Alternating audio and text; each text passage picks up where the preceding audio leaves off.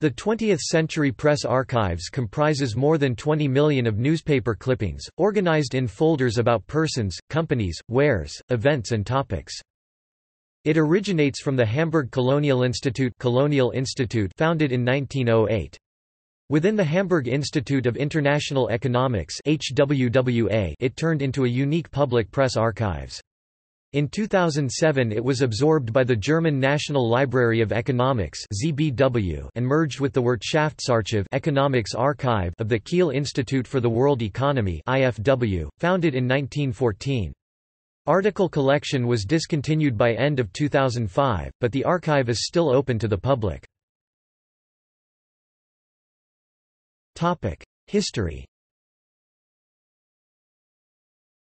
After a few years, the Zentralstelle Central Office of the Colonial Institute was transformed from a free information center for colonial issues into a comprehensive archive of global political and economic topics, which primarily supported Hamburg's merchants.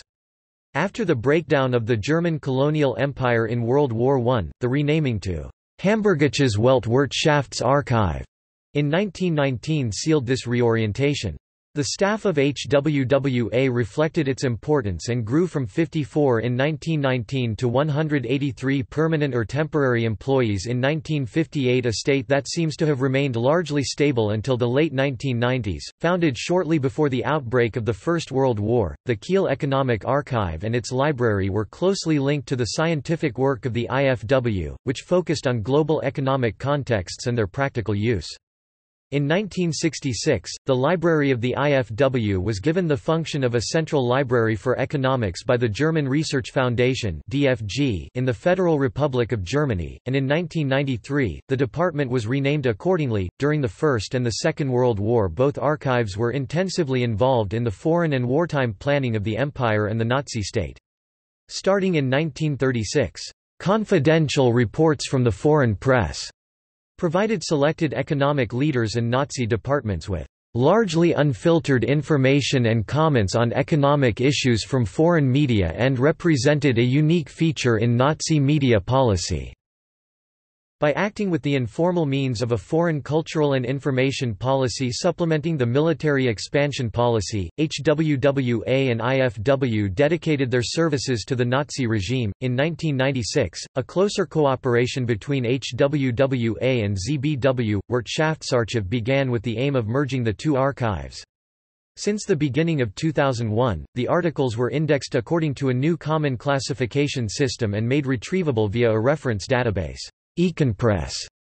Following a recommendation from the evaluation within the Leibniz Association in 2003, the current press documentation was finished at the end of 2005 and the materials were frozen at the level reached. The existence of the HWWA ended in 2007 with the integration of its press documentation and library into the ZBW as a newly formed foundation under public law. Today, the press archive belongs to the research infrastructures of the Leibniz Association. Topic: Areas of collection and extent. By 1919 at the latest, the Hamburg Archive collected press clippings on a global scale. The archive was subdivided in four sections. The Sacharchiv topics archive with subject matter from all countries, subcontinents and the whole world. For the individual countries and regions, which constituted the primary order criterion, up to 1200 individual topics were recorded. Further special folders were created for individual events or questions, such as the Boer War, the issue of slavery or the Suez Canal. Since the late 1990s, collecting had focused on Domestic and international economic issues business, economics, economic policy, markets, industries, innovations. The Warenarchiv, Wares Archive with national and international raw materials, semi-finished and finished products. The product names are subdivided into approximately 980 upper and 3,400 subterms. Here, countries and regions represent the secondary order criterion. The Firmenarchiv, company's archive with business reports, anniversary publications and press clippings of c. 36,000 according to other figures, c. 70,000 domestic and foreign companies. In addition, material on several hundred institutions and international organizations, universities and research institutes has been collected. The Personenarchiv Persons Archive with dossiers of about 16,000 people from business, politics, science, culture and society. More than 1400 sources have been evaluated for the press archives. Their broad international distribution provides access to the history of political thought and receptive history of the covered topics. Occasionally, the collected publications go back as far as 1826. While the Persons Archive was only available in paper form until its partial digitization, the holdings of the topics, wares and companies archives have been saved every 10 years on roll film or microfiche since the 1960s and then the paper clippings were pulped. The holdings of the Kiel Wirtschaftsarchiv are less comprehensively documented. They are subdivided into a topics archive, which mainly served the research and teaching of the IFW and which is microfilmed up to 1945, a personal archive, only in paper form, which also contains publications of these persons, and a home archive with publications about the IFW itself, also in paper. The Archive on Corporate Bodies, which in 1958 comprised 4,800 companies and more than 5,600 German and international scientific and cultural societies and institutions, political parties and trade associations, and represented one of the most complete collections for 20th-century business history, is not mentioned anymore in the archive's profile. The War Archive of 1914 to 1918, which comprehended 1 million clippings, was destroyed by a bomb strike in 1942. For 1958, when six scientific experts and more than 30 employees in total were collecting and organizing the material, the total extent of the archive was estimated as more than 3 million, for 1993 as more than 10 million. By the Pressemappe 20. Jahrhundert application, parts of the holdings of both archives are now accessible on the web. Topic: Partial digitization and the Pressemappe 20. Jahrhundert application. From 2004 to 2007, the German Research Foundation funded a project to digitize parts of the archives.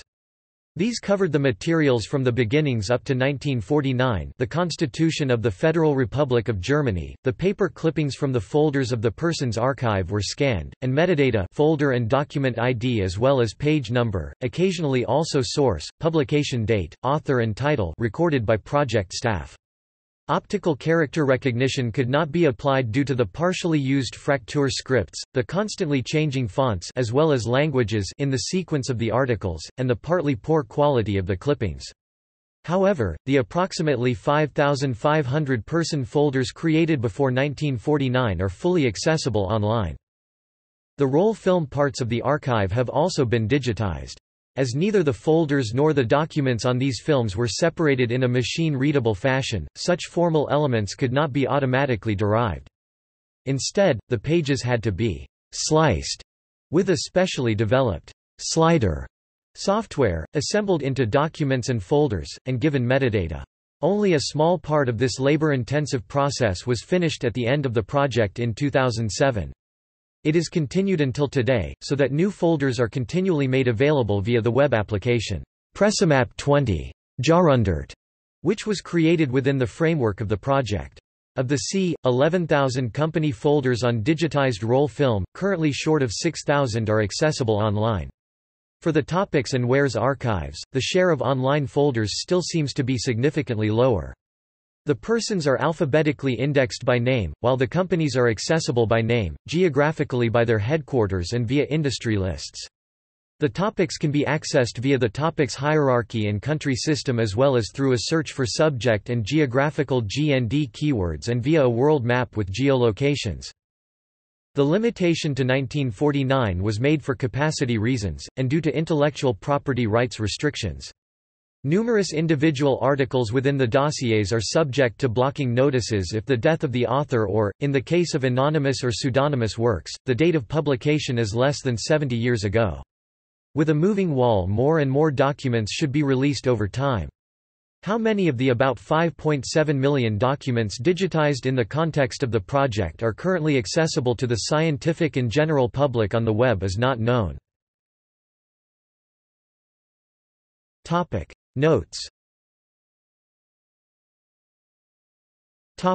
References Research, Travel, Exploration, The Lifeworlds of the Leibniz Association Archives.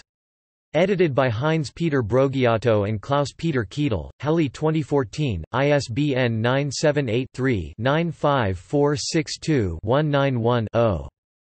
Anke te Heesen, The Newspaper Clipping. A Modern Paper Object. Manchester University Press, Manchester 2014, ISBN 978 0 7190 8702 8. Eckhard Seusing, Basic Facts on the Library of the Kiel Institute of World Economics and its Information Services. International Journal of Special Libraries, Volume 27 1993, No. 3, pp. 179–188, pdf.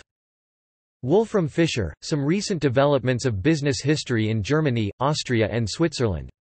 In Business History Review, Volume 37, Number 4, Winter 1963, pp. 416 to 436. Sources in German.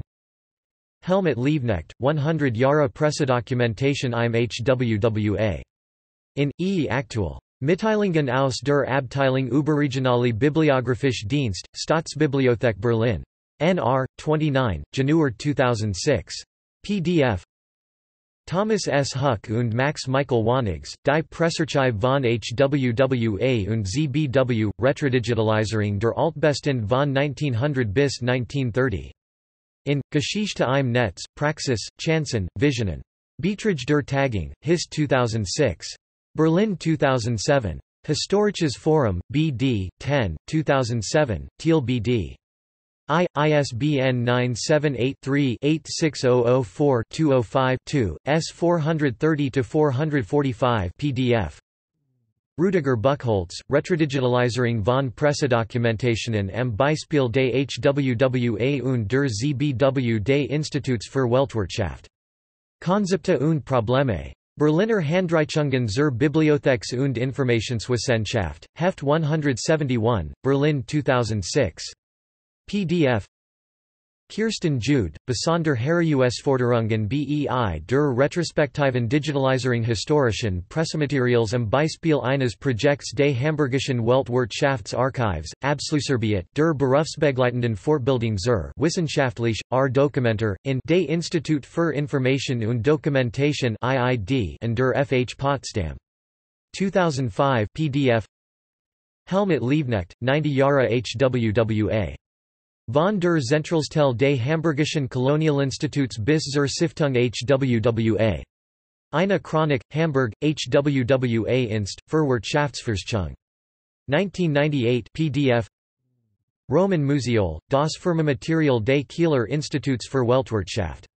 Neue Quellen Wirtschaftsgeschichtlicher Forschung. In, Tradition. Zeitschrift für Firmengeschichte und Unternehmensbiographie, Volume 3, No. 3 August 1958, pp. 165–178. External links Pressemappe 20. Jahrhundert access to the digital archives extended continuously example folders Persons, Gandhi, John Maynard Keynes, Eva Peron Companies, BBC, Volkswagen AG, Kaiser Wilhelm Gesellschaft zur Forderung der Wissenschaften. Wares, Gasoline USA, Cotton, Apparatus Manufacture.